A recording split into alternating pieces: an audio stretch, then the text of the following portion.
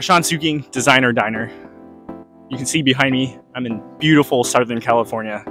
I'm in Santa Monica, actually. Um, I'm gonna take you through here, show you what's around, and later today, go to Los Angeles, see a couple of the districts. So let's go.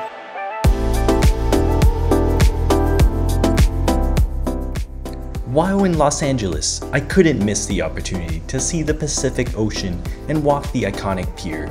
This pier has been in so many movies, it's inspiring.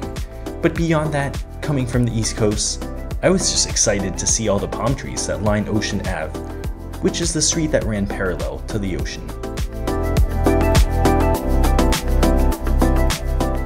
Only a 40 minute drive from downtown LA, Santa Monica is not a big city compared to that. I would say it's similar to South Beach, but not as party focused.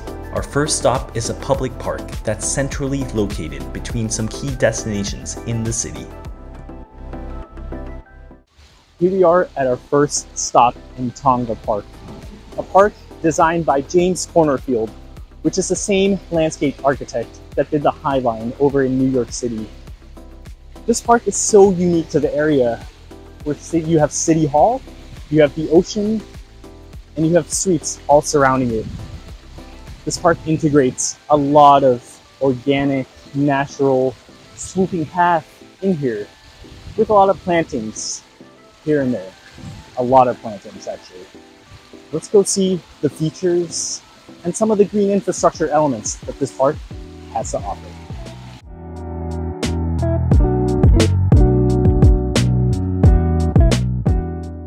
Once I stepped into the park from the Ocean Ave entrance, I felt the openness and the cooling from the water feature along with the lush plantings.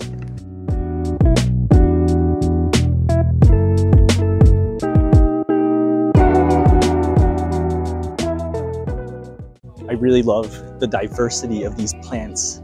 We don't get these in the Northeast, so there's much more texture, color, different heights.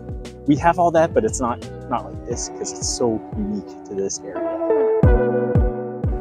Being high up at the park's high point, I can see all the different height changes like the amphitheater beyond and this green wall that is so lush and thriving. There's so many layers to this park. Put in a garden, different elevation changes, integrating different design elements that really accounts for the views that this park has.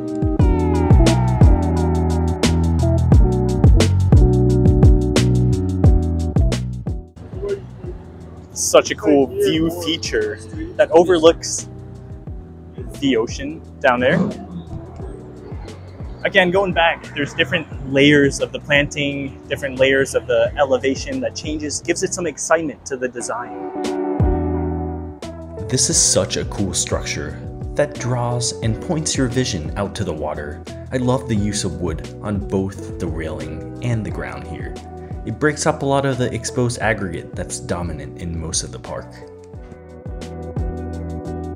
the way that the design of this park is integrated into this 7.4 acre lot, there's a lot of sweeping path and organic gestures that happen here. But if you go beyond the park into the city streets, it's mostly laid out into a grid, squares, 90 degrees. So it's nice to have this freshen designed. Again with this green wall, I can't get over how lush it is. I'm walking towards the children's play area, which is another one of the four zones that the park is divided into. The use of natural materials, like the boulders and these trees, make it so unique and playful for both the kids and the people enjoying the area. Point out this cool wind chime feature. Perfect, you know, for the ocean breeze coming in, making its natural music. The public bathroom is an essential element to any park. But the way that this is integrated into the slope is just brilliant. If you're in Santa Monica, I would highly recommend a visit to Tongva Park. There are so many design elements and features that a designer like myself can learn from. It's also hard to miss since it's surrounded by all the attractions, like the pier and 3rd Street Promenade right here, which it's a vibrant retail pedestrian street. I love this city and would love to come back someday. Thank you for watching and stay tuned for next episodes as we move into Los Angeles where I get an early start at a street market in Thai Town, then enjoy some pieces at the Los Angeles County Museum of Art.